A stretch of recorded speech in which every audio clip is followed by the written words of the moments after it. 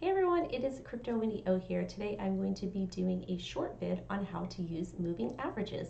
This is going to be part of my technical analysis series on basic TA indicators. So if you're interested, you could go ahead and check those out and see some of the previous ones that I did. Also shout out to my sponsor Coinigy. Thank you so much for sponsoring this video.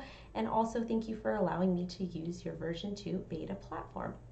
So you guys, all the information that I gathered to make this video, I got from Investopedia and I also got from Coinigy. Coinigy has a lot of really great learning resources that you can go ahead and check out if you have questions on indicators or how to use their platform. So um, before we get started, I'm not an expert, I'm not a financial advisor. All opinions and statements in this video are based on my own and things that I've researched, and as always, make sure to do your own research. So, what is a moving average and why do we use it? So, a moving average, it is a simple technical analysis tool that smooths out price data by creating a consistently updated average price based on historical data. Um, it identifies um, trends and it also identifies when a reversal will occur. Um, basically, to calculate a moving average, um, you would get the last five days or five periods and you would divide it, you would add it up and you would divide it by the number five.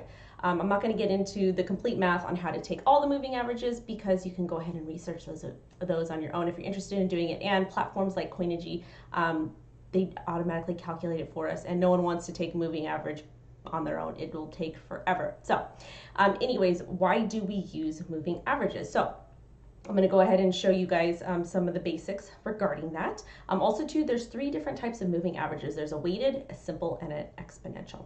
Um, what, the simple is an SMA, and actually it's you want to use those when you're um, trading in a longer time period like especially if you're swing trading. And it, it, it, it determines overall market direction. Um, an ema is for shorter time frames and it moves a lot faster. So in crypto you kind of want to use those just because crypto is so volatile and it moves so fast. Um, also too you can modify mas moving averages to whatever time frame you want. I generally use the 20 and the 9 for now but um, depending what I'm looking at. Sometimes I change it up. It really, really just depends on what I'm looking at and what I'm doing. I know for stocks, you can use the 10, the 20, the 50, and the 100 day um, moving averages. It's purely up to you. Um, you can modify their length, and I will show you guys how to do that. Um, so let's go ahead and look at the chart, and I'm going to talk to you guys about how to use moving averages and why they're why they are important.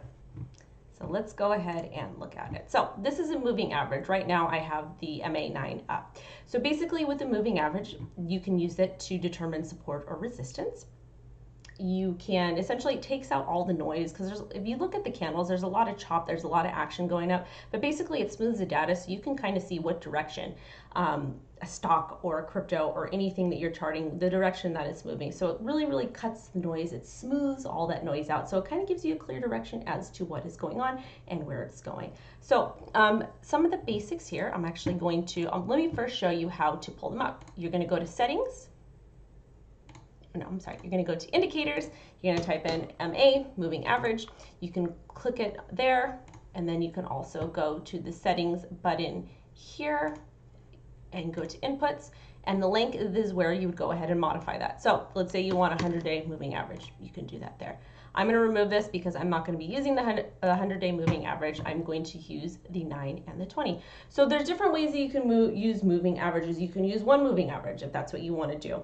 Um, but when you use two, you can kind of identify um, crossovers and different things like that. You can also identify crossovers with um, a single moving average, but I personally like to use two to kind of give me confirmation of direction and what the market could possibly do. Do keep in mind moving averages are lagging indicators, which means they're not always 100% accurate. And there's a lot of fake outs that occur, and I'm going to show you guys those.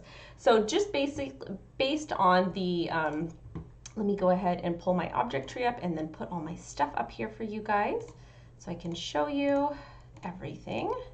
Made some notes. Here we go. All right. So um, this is the moving average over here acting as support over here, you can see, and we're just talking about the MA9, which is the green moving average. We're seeing right here that price is respecting it and it's acting as support. It's just kind of holding on to it right here. Um, also too, when price drops below a moving average, this can indicate a reversal in price. So we were pretty bullish here. We're falling up, up, up, and then we dropped. Um, this would be an indication to sell essentially. Also too, when your moving average is acting as resistance. Um, over here, it's kind of hard to see, but you can see all these little candles here. They're unable to break above both MAs over here. So this essentially would be acting as resistance. Um, some, some of the issues that happens with moving averages, sometimes you can get a false breakout. So right here, we see that price is pumped up and it looks like we're going to break out and start to get an uptrend. However, it was a false breakout and then price dumped and then it kept going down over here. Um, when we use two moving averages, these are things that are called crossovers. I like, that's why I use two moving averages because it's kind of easier for me to see what's going on. Right here is a bullish crossover. So the MA9, which is the green one, crossed over the um, MA20, which indicates a rise in price. So we have this bullish crossover and then price popped up.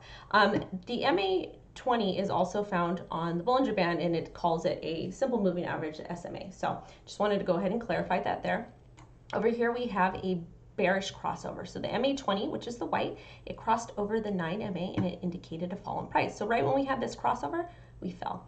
Another thing about moving averages, it can kind of tell you, it talks, it, can help you identify the trend. So this MA, the green MA, MA9, when it's popping up, this is um, considered an uptrend. And also too, we had this nice upward tick in price here that would be bullish. So that also indicates that we're in an uptrend. When price is flat, like the um, like the MA20 is here, that indicates that a stock or a crypto is ranging or consolidating.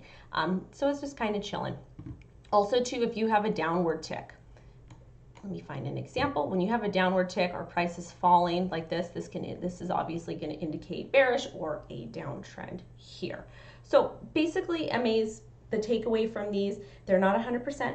They're a lagging indicator, but they can kind of help you spot what direction a stock or crypto is going in, um, and they also can identify reversals as well. So I like using them. I've actually just started using them and I enjoy using them. They work great for me. So I hope you guys found this video helpful. If you like Coinigy, you can go ahead and sign up with my ref link down below. Thank you so much for watching. Bye-bye.